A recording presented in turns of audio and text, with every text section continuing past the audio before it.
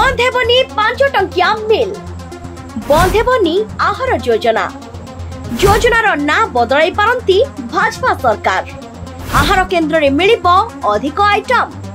ଏଣିକି ଆହାର କେନ୍ଦ୍ରରେ ମିଳିବ ଅଧିକ ଆଇଟମ୍ ତା ସହିତ ଭଲ କ୍ୱାଲିଟିର ଖାଦ୍ୟ ମଧ୍ୟ ପରସାଯିବ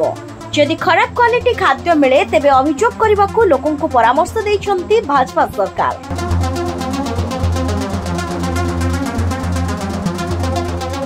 ସାଧାରଣ ଗରିବ ଶ୍ରେଣୀର ଲୋକଙ୍କୁ ପାଞ୍ଚ ଟଙ୍କାରେ ମିଳୁଥିବା ଭୋଜନ ଆହାର ଯୋଜନା ବନ୍ଦ ହେବ ନାହିଁ ଆହାର ପ୍ରତି ଲୋକଙ୍କର ଆଗ୍ରହ ଅଛି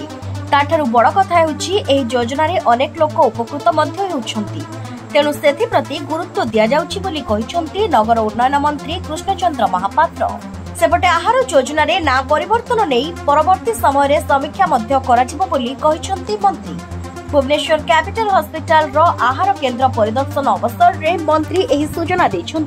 এই যোজনার সুস্থ ও পরিষ্কার পরিবেশে পুষ্টিকর খাদ্য দেওয়া উপরে মন্ত্রী গুরুত্বারোপ করেছেন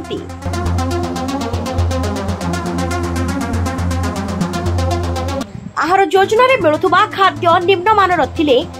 বিএমসি অধিকারী কিংবা জিলাপাল জনাইবা মন্ত্রী সাধারণ লোক পরামর্শ দিয়েছেন ଭାଜପା ସରକାର ଆସିବା ପରେ ଆହାର ଯୋଜନା ବନ୍ଦ ହେବା ନେଇ ଗୁଜବ ସୃଷ୍ଟି ହୋଇଥିଲା କିନ୍ତୁ ବର୍ତ୍ତମାନ ଏହା ବନ୍ଦ ହେବ ନାହିଁ ବୋଲି ସ୍ପଷ୍ଟ କରିଛନ୍ତି ମନ୍ତ୍ରୀ ରିପୋର୍ଟ ଅଫିସ ରିପୋର୍ଟର